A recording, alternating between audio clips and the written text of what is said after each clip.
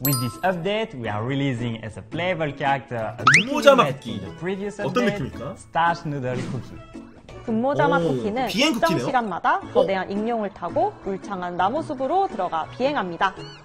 비행하며 등장하는 나무를 짚으면 음. 열매 젤리를 획득할 수 있습니다. 젤리가 좀 많은 것 같은데? 분모자막 쿠키는 어, 나무 하나당 일정 10개? 시간마다 10개? 거대한 익룡을 타고 울 창한 아, 나무숲으로 오, 들어가 육, 비행합니다. 칠. 여기까지 80개. 그치? 젤리가 80개인데? 젤리가 비행- 좀 많은 것 같아. 이거는 1, 2, 3, 4, 20개 같은데요? 젤리를 100개를 생성하네? 마법 사탕을 제작하면 일정 시간마다 휘파람을 불어 작은 익룡들을 부릅니다.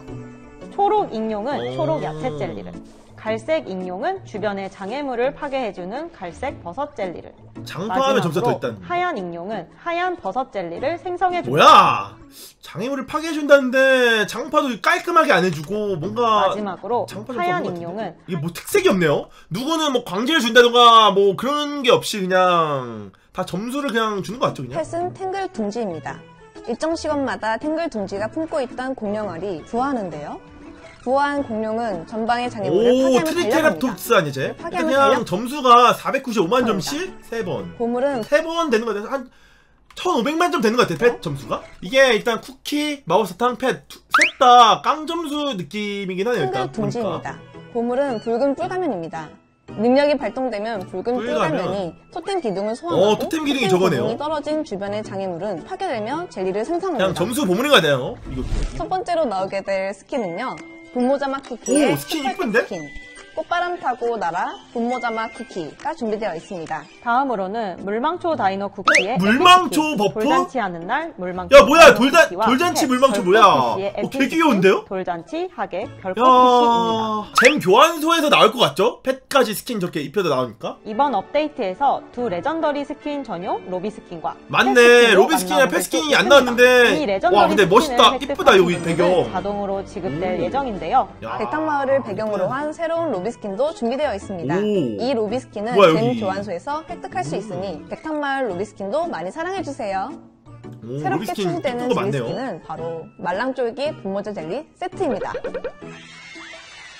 맛있는 훠궈가 생각나는데요. 홍탕에도 젤 백탕에도 것뭐 같은 나쁘지 않을 것 같네요. 좀 만나보세요. 깔끔한 느낌 좋았는데 지저분한 느낌이 아닌 것 같아. adding two more stages to the new breakout episode where you'll now run with 야 맞네 떼탈출 이제 10주자만 네, 달리고 첫 번째 나중에 이제 나오면서 새로운 스테이지랑 나온다고 했죠. 쿠키의 전투를 15주자 떼탈출이 보여주는데요. 됐고요 근데 이게 얘는 진화가 안 돼요 그쵸? 드래곤이 진화가 안 되거든 날아오며 원래 용을 계속 키우고 키우는 그 느낌이잖아. 이번 파티에서는 여기서 진화가 안 된 모습. 근데 갑자기 여기서 용이 사라져. 용한 드래곤 쿠키가 사는 용하는 거 보니까 여기 뒤에 용이 없어요.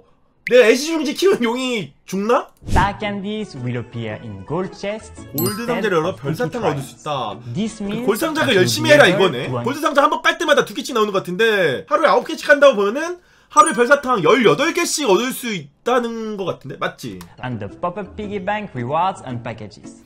So all you need to do is collect jellies in any game mode. 젤리를 모아 게이지를 채워 하루 최대 3회까지 보상을 받으세요 이게 이건 것 같아 여기 보면은 캐노 저 오른쪽 아래 보면은 이거 젤리 먹는 그게 있는 것 같아 그쵸? 하루에 이거 3개 받을 수 있다 그거 같아요 어 곰뚜껑이랑은 전혀 상관없는 그냥 새로 나오는 보상 시스템인 것 같은데 이거는? 아 그리고 오랜만에 쿠키런 오븐 브레이크에 어? 찾아오는 반가운 준비되어 쿠키? 일단 능력이 있긴 하네요. 능력은 그냥 똑같은 것 같은데? 별사탕을 발사하여 장애물을 파괴한다. 얘는 거대화 거- 생명, 거대화 생명 아이템이면은 홍고추 펫이랑 똑같은 거 아니야? 홍고추 펫이 지금 거대화 생명 물약을 주죠? 이거는 이제 거대화 생명 건빵 아이템을 생성을 하네요. 어, 쟤는 점수를 주는 것 같아요. 약간 event 펫 상위화 느낌일 것.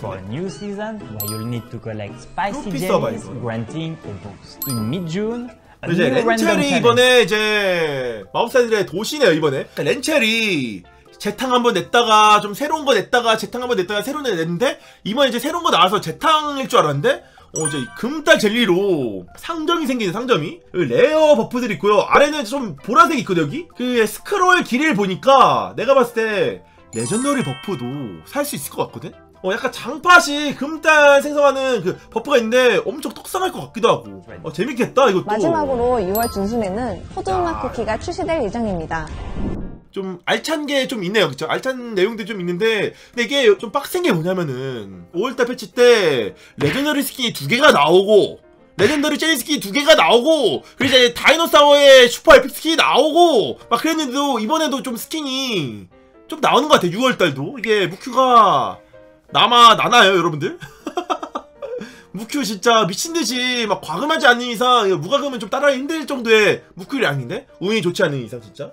무제 큐브적으로는 빡세 보이고 뭐 다른 패치는 좀 일단 뭐 나와봐야 알겠지만 어 저는 막 별사탕 패치나 이런 것도 좀 괜찮아 보여요. 골드 상자에서 주니까 막 길드전 해도 쌓이고 렌첼에도 골드 상자 티켓 막 쌓이고 막 다 쌓이잖아 어떤 걸 해도. 깨도전만 해야지 별사탕이 나온다는 그런 게 이제 사라지니까 좀 자유도가 계정 키우는 자유도가 좀 높아진 느낌이 있어서 어, 좋은 것 같네요. 그래도 출시컵이 있으니까 티켓 도전은 해야겠지 자 미리 보기 리뷰는 여기서 마치도록 하겠습니다.